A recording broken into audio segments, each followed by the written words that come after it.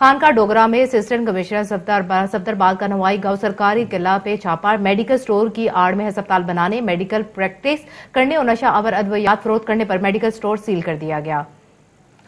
خانقاہ ڈوگرا میں وامی شکایت پر اسسٹنٹ کمشنر صفدرآباد ملک مشتاق احمد ٹوانا نے deputy district health officer Muhammad Rizwan Qureshi اور پولیس کی نفری کے ہمراہ نوائی گاؤں سرکاری قلعہ میں قائم میڈیکل سٹور کا معائنہ کیا۔ میڈیکل سٹور کا مالک ہسپتال کے متعلق کوئی بھی دستاویز پیش کرنے میں ناکام رہا، جبکہ میڈیکل سٹور کے ساتھ ملحقہ عمارت میں پورا ہسپتال بنایا گیا تھا۔ سٹور سے ممنوع اور نشہ آور ادویات اور دیگر آلات بھی برامد کیے گئے، جبکہ موصوف نے رہائش گاہ پر فیملی اور میڈیکل اسٹیبلشمنٹ کی نیم پلیٹ بھی لگا رکھی تھی۔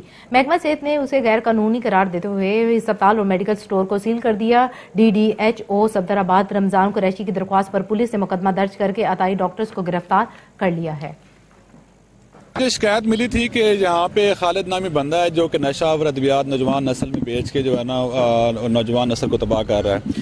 اس شکایت پہ ہم نے آج ریڈ کیا deputy D H O health کے ساتھ ہم یہاں پہ آئے ہیں۔ تو جب دیکھا تو یہاں پہ ایک تو اس کے پاس لائسنس بھی نہیں ہے میڈیکل سٹور کا، دوسرا یہ فل فلیج اس نے یہاں پہ ایک ہاسپٹل بنایا ہوا ہے، جس میں کہ یہ ڈلیوریز اور جو ہے باقی سارے